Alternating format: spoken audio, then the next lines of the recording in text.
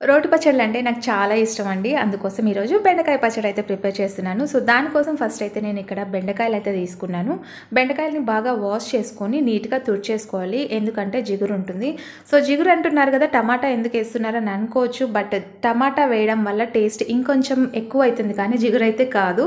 So నేను ఇప్పుడు బెండకాయలోకి ఉల్లిపాయ పచ్చిమిర్చి టమాటా వేసేసుకొని ఓన్లీ ఆయిల్లోనే ఫ్రై ఫ్రై చేసుకుంటాను అనమాట లో ఫ్లేమ్లో పెట్టుకొని దీంట్లో కొంచెం జీలకర్ర అండ్ కొంచెం చింతపండు అయితే యాడ్ చేస్తున్నాను. సో ఇలా లో ఫ్లేమ్లో పెట్టుకొని బాగా మగ్గిచ్చేసుకోవాలి. బెండకాయ పచ్చడి చాలా బాగుంటుంది. ఇలా ట్రై చేయండి ఒకసారి.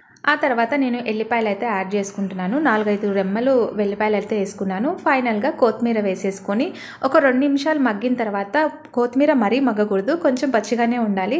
ఆ తర్వాత నేను మిక్సీ జార్లో వేసుకుంటున్నాను. రోడ్డు పచ్చడి అని చెప్పి మిక్సీ జార్లో వేస్తున్నారని అనుకోవద్దండి.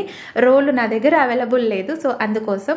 అండ్ ఇక్కడ కచ్చా బచ్చగా ఇలా మిక్సీ పట్టేసుకొని మీకు కావాలనుకుంటే పోపు పెట్టుకోవచ్చు లేకపోతే అవసరం లేదు. నేను ఇంకా ఫైనల్గా వేడివేడి రైస్ రెండు ఉల్లిగారలు అండ్ కొంచెం ఉల్లిపాయ వేడివేడి అన్నంలో కొంచెం బెండకాయ పచ్చడి వేసుకొని తింటుంటే సామిరంగా ఉంటుంది.